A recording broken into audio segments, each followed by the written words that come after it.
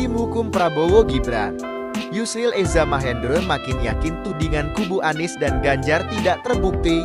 Menurut dia, penjelasan yang kedua kubu paparkan selama sidang tidak mendukung permintaan mereka untuk mendiskualifikasi Gibran, lalu melaksanakan pemilihan ulang. Itu tidak dapat dibuktikan dalam persidangan ini.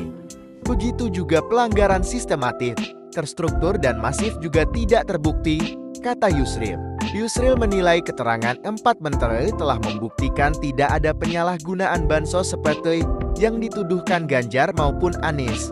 Hari ini jelas sekali. Menteri Keuangan, dua Menko dan Menteri Sosial mengungkapkan tidak ada penyalahgunaan bansos, kata dia.